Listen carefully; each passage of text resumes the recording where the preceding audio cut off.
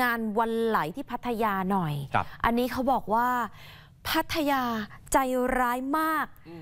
คำพูดนี้ไม่ใช่ดิฉันพูด แต่เป็นคนที่ไปเที่ยววันไหลที่พัทยาค่ะ เป็นสาวสองอัดคลิป แล้วเขาติดมือถือมาก ปรากฏว่าเล่นน้ำแล้วก็ใส่ซองพลาสติกอะค่ะอ่าๆใส่มือถือไว้ครับแต่เจอแก๊งกรีดกระเป๋าเอา iPhone เข้าไป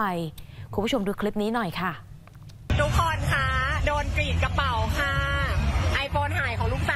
าว กิจดิมันเป็นคนจับมือถือตลอดเวลาแล้วดูดิ พัทยาใจลายมาก พัทยาใจลายมาก สาวสองค่ะ และก็เพื่อนสาวรุ่นน้องอัดคลิปน้ำตาซึม พร้อมกับโชว์กระเป๋าพลาสติกใสกันน้ำนะคะ ว่าโดนกรีดเสียหาย ก่อนจะถูกฉก iPhone ไปค่ะในเสี้ยววินาที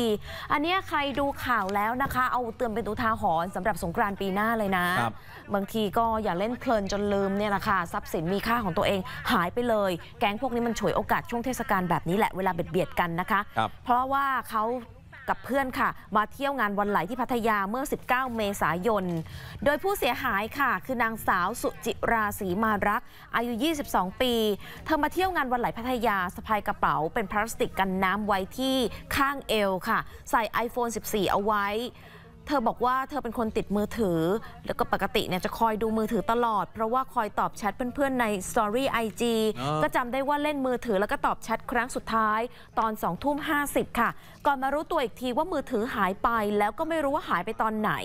จนกระทั่งมาเปิดแอป หา iPhone จากเครื่อง iPad ที่ทำการซิงก์กันเอาไว้อะค่ะ จนพบว่ามือถือถูกปิดสัญญาณหายไปตอน2ทุ่ม 52 ห่างจากตอนที่เล่นมือถือครั้งสุดท้ายเพียงแค่ 2 นาที มันสามารถเช็คได้ถูกไหมใช่ไอโฟนถูกต้นะองมันฮะก็เช็คพิกัดได้นะคะ ว่าไปอยู่ตรงจุดไหนอะไรยังไง เธอก็เลยเข้าแจ้งความกับเจ้าหน้าที่ตำรวจเอาไว้ที่สภเมืองพัทยาค่ะ แล้วก็อยากให้แบบว่าหนูไปงานวันไหลพัทยาค่ะแล้วทีนี้ หนูก็สะพายกระเป๋าไว้ตรงข้างนี้ แล้วคิดว่ามันแบบเอออยู่ตรงระหว่างตรง เป็นกระเป๋ากันน้ำเป็นกระเป๋ากันน้ำค่ะอยู่ตรงนี้ไม่ได้เอาไว้ข้างหลังเลยหนูไม่ได้ห้อยคอไว้ข้างหน้าด้วยค่ะ ก็เลยทีนี้ก็เลยแบบว่าหนูเป็นคนที่จับโทรศัพท์ตลอดเวลาด้วย เพื่อแบบว่าตอบแชทเพื่อนๆที่แบบว่า reply story IG มา